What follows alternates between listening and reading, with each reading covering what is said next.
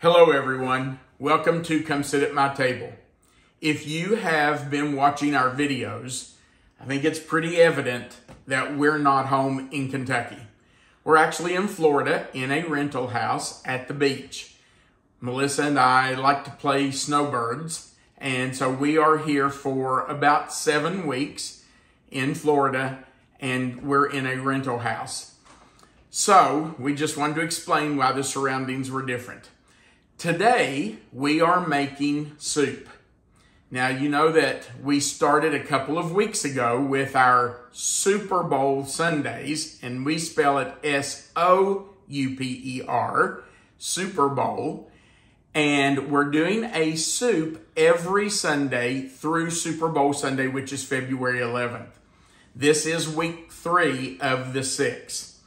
Today, we are doing a very simple soup. It goes by about 20 different names.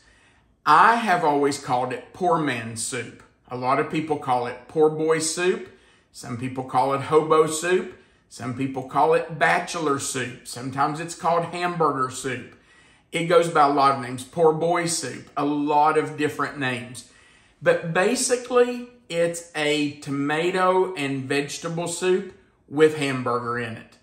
It really came, as far as I can find out, it came about during the Great Depression when people made this soup with whatever they had left over. And that's what my family did a lot when we had it when I was growing up. We would have this a lot on Fridays or Saturdays. And whatever my mom and dad had left from meals during the week, it went into this soup. Maybe green beans, corn, carrots, tomatoes, whatever we had, it went in. So today we're going to make what I call poor man's soup. It's a very easy recipe, but it's really good on a cool or a windy, rainy, gloomy, gray winter day. Now, even though we're in Florida, it's kind of a gloomy, gray day here. The last few days have been really nice and warm and sunny. Today's a little cooler. It's in the 50s and it's been raining. It's cleared up right now. It's not raining, but it poured the rain during the night. So it's kind of a soup day. All right, let's talk about what we're going to use today to make poor man soup. And I cannot stress enough, this is just what I'm using today, and I have no leftovers to put in it. But if we were home and we had leftovers, I would be throwing leftovers in this soup. But today I'm using things I've bought because we don't have leftovers here. So if you're going to make it, just use what you have left over. Lima beans, peas, corn, green beans, whatever you have in the refrigerator, or you can just open cans of things and throw in. Okay, we're going to start with one tablespoon of olive oil. And in that olive oil, we are going to add uh, one large chopped onion, or in my case today, we're adding two small chopped onions because I don't have any large ones. And we will saute that until they are kind of soft, till they kind of are translucent. And then once that is cooked a little bit, we will add three teaspoons of minced garlic. Now, if you have whole garlic and you want to mince your own, that would be three cloves. But I like to buy this already minced, and so I'm using three teaspoons. Now, I'm going to stop there instead of showing you the rest of the ingredients because I really want to get this started sauteing before we show everything else. We just need to have some time for this to cook. So I'm going to go ahead and chop my second small onion. And you know, the words large and small are kind of relative. Um, you know, a small onion to you might be a large one to me or vice versa. But we like lots of onion. So I'm just chopping up what I consider two small onions. They might even be medium onions. But really, you can't go wrong with plenty of onion in your soup. So use as much or as little as you want. This is your soup. You can make it the way you want to. Dice it the way you want to. I like kind of a medium dice. I want to be able to see those onions in the soup, but I don't want huge pieces of onion that overpower everything. So I just kind of put as much as I want, as much as you want, whatever whatever you think. You make it yours. All right. I noticed you remembered your towel under your cutting board. Yes, I have a hard time remembering to do that, but it sure does help. I'm glad you mentioned that. If you will just dampen a towel, it's not wet, it's just damp. I've gotten it wet and wrung it out as well as I could and put it on your counter under your cutting board. It keeps your cutting board from sliding. I try to always remember to do that, but sometimes I forget and then it's sliding all over the place. Okay, so I'm going to take my olive oil. Let's start our fire. I'm to turn it up until we get this hot. I'm just going to add about a tablespoon in here, just a glug. And then I'm going to add my onions and let those get started sweating down because we want to get those cooked a little bit. They don't have to be completely cooked because we're going to cook this once we get everything in. It's going to simmer for a while and let everything kind of meld together. So you don't have to cook your onions completely. It's not like they have to be completely done. And you know, once you get them in there, if you see any big pieces, just chop them up. Okay, so that's done. Let's let that cook for a little bit. Now let's talk about what else we're going to put in this soup today. We're using two pounds of ground round or ground chuck or ground beef or whatever you want to use. Um, I like plenty of hamburger in mine. I like plenty of beef in mine. So I'm using two pounds today. You can actually get by with one pound in this amount of soup if you want to. I'm just a meat eater, so I put plenty in there. One pound would do it, but we're using two. We're also using two boxes, which is eight cups of beef broth. We'll use both of those. Now, if I was going to, we're, we're going to talk in a minute about the pasta that we're putting in this. If I were going to cook my pasta first and then add it to the soup, I would probably use only about six cups of beef broth. But I'm just going to put my pasta right in and let it cook in the soup. So it will soak up a lot of that juice. So I'm using eight cups of beef broth instead of six. It just saves you dirtying another pot. So I'm, I'm not going to dirty another pot for that. So I'm using eight cups. We're also using a 14 and a half ounce can of diced tomatoes. Now I got the ones that have onion and garlic in it. You can find some that say they have basil and all kinds of spices and herbs, but I'm just using this one. It has onion and garlic in it. You pick the one you want. I'm also using a 29 ounce can of tomato sauce. Let me stir this. At those onions are already cooking. Um, a 29 ounce can of tomato sauce. And by the way, with the diced tomatoes, we're going to use juice and all. We're just dumping it all in there. Now, the next thing we're going to put in is two tablespoons of sugar. And you might say, well, why are you putting sugar in, in a vegetable beef soup? The, the sugar is not to make it sweet. The sugar is just to cut the acidity of that tomato sauce and those tomatoes. You won't taste the sugar, I promise. Now, if you put a ton of it in, you would. But two tablespoons is not going to make your soup sweet. Those two tablespoons of sugar are just going to cut the acidity a little bit and help it have a little bit better flavor.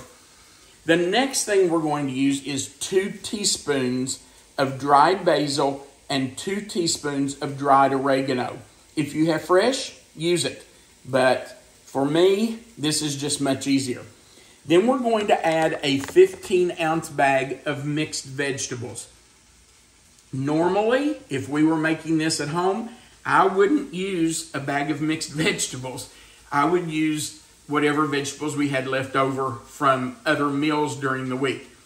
But we just got to Florida a couple of days ago. I don't have leftovers, so we're using these mixed vegetables. And you can use any combination of vegetables you want to. If you'd rather do cans, use a can of Veg-All. or buy a can of corn and a can of green beans and a can of whatever and just use those. Let me turn this down just a hair. Um, you can put in what you want to. One thing I don't put in is potatoes because I am using pasta. And we are going to use two cups of, I'm using small shells.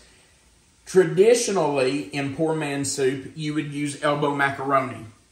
But I just really like small shells. So we're using two cups of that today. And we are at the beach. And we are at the beach, so you kind of need the shells, right?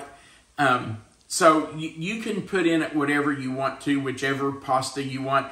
But because we're putting pasta in, I don't put potatoes in. I just, I think that's too much starch, I guess. So if you want to put potatoes in, you can certainly do that. Get the small whole potatoes, quarter them, put them in. That's up to you. The last thing that we will use today is some mild cheddar cheese, shredded cheddar. And we just put that on top. That's to go on at the end after you have put the soup in your bowl. You sprinkle some cheese on top of it. That's not a necessity. That's not something you have to do. But we think it's good in there. Okay. Our onions have started cooking. And so we are going to add our garlic.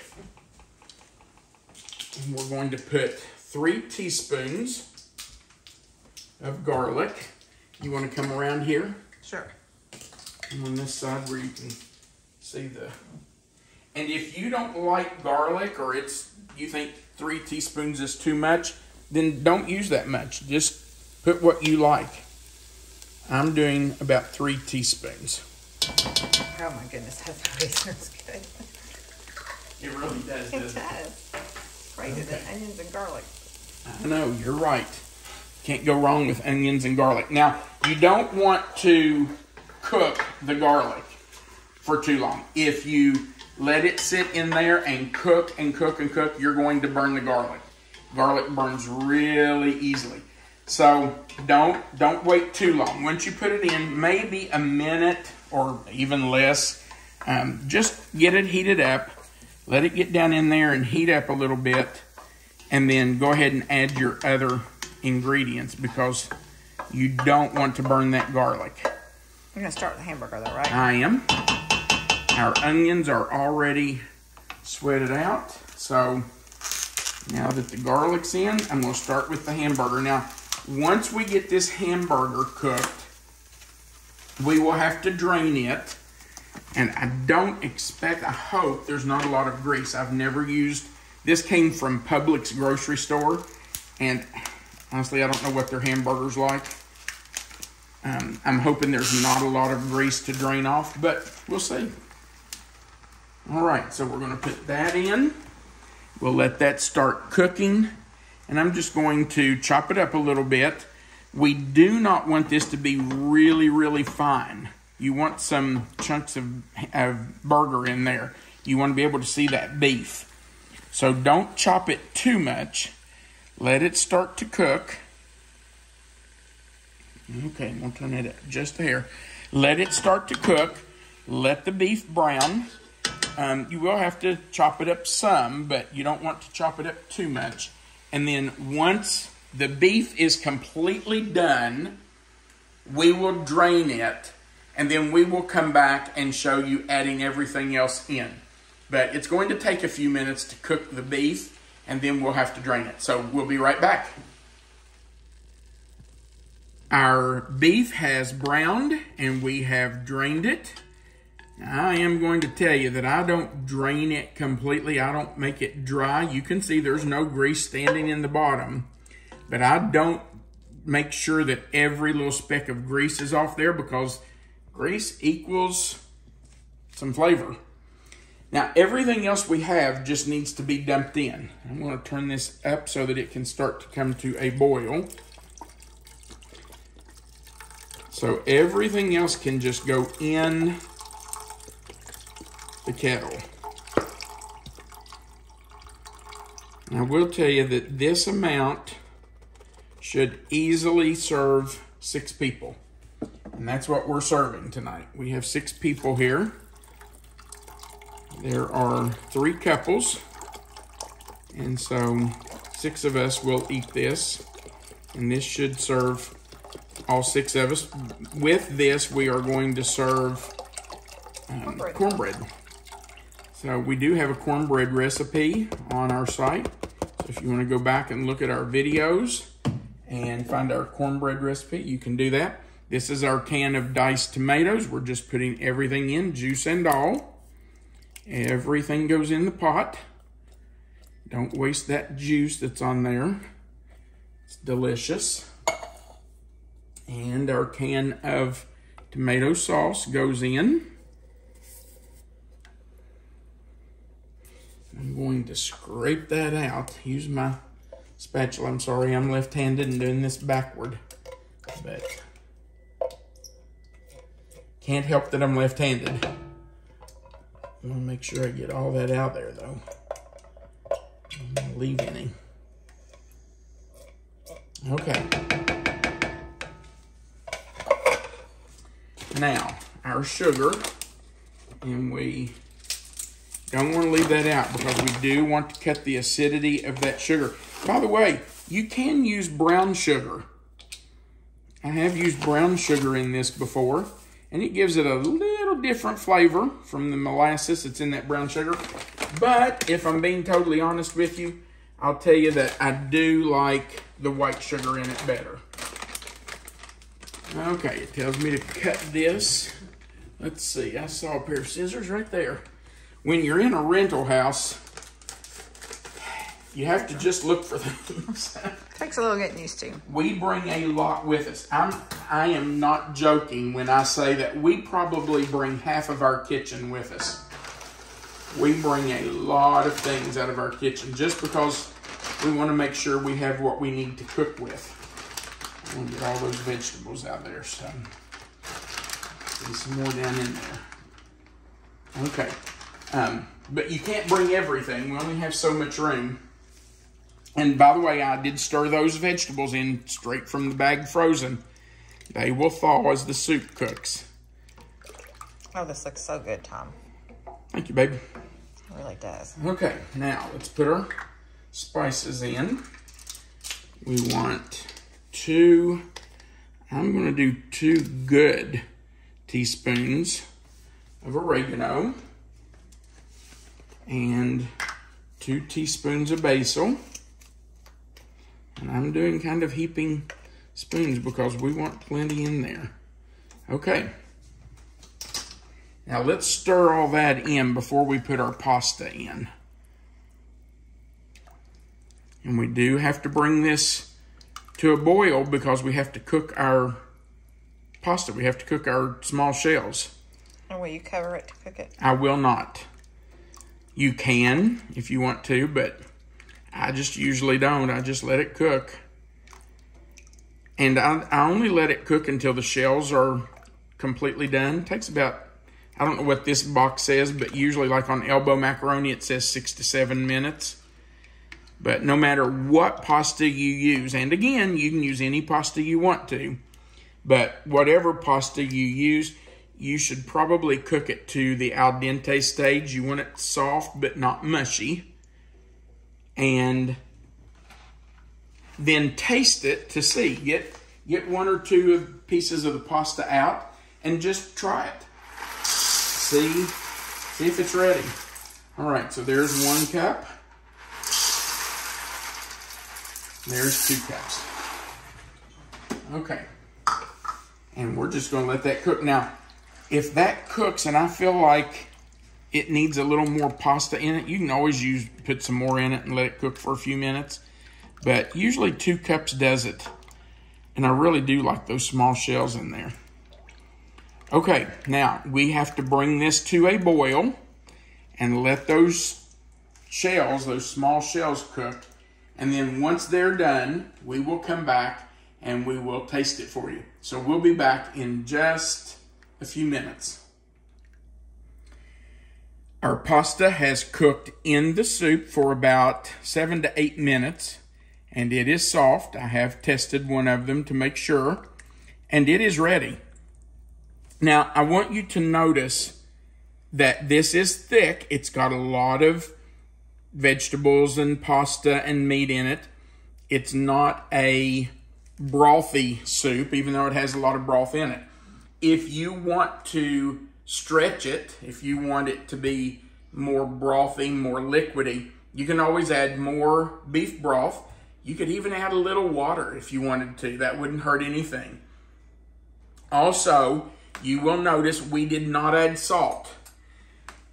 We are sharing this with some other people in our house who, um, some of them have issues with high blood pressure and whatever.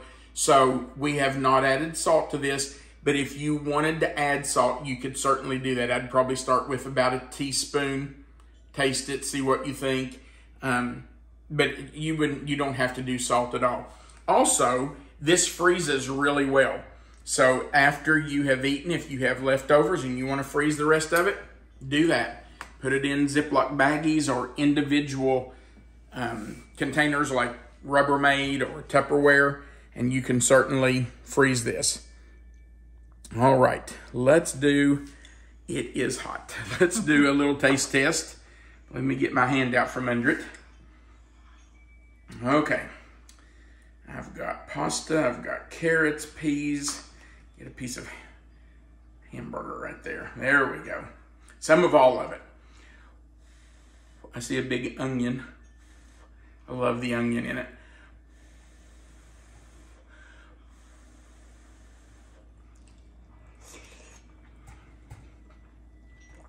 Mmm. That hits the spot. That's a great winter soup. That's really good. Okay, by the way, if it were just for the two of us, I would put some salt in there. It's fine the way it is, but I think a little bit of salt would probably enhance the flavor some. Thank you so much for watching our videos. We are really happy that you're joining us for Super Bowl Sundays. And remember, we have three left. We're going to do a, a, different soup video every Sunday through Super Bowl Sunday. So we appreciate you being here. If you would, go right below this video and give us a thumbs up. Just click that button where you see a thumbs up that just says you like the video. If you've not already, we would appreciate you clicking that subscribe button, the little notification bell, and the word all. Remember that right under the video where you see the title of this recipe, it might be poor man soup, poor boy soup, bachelor soup, hobo soup, hamburger soup.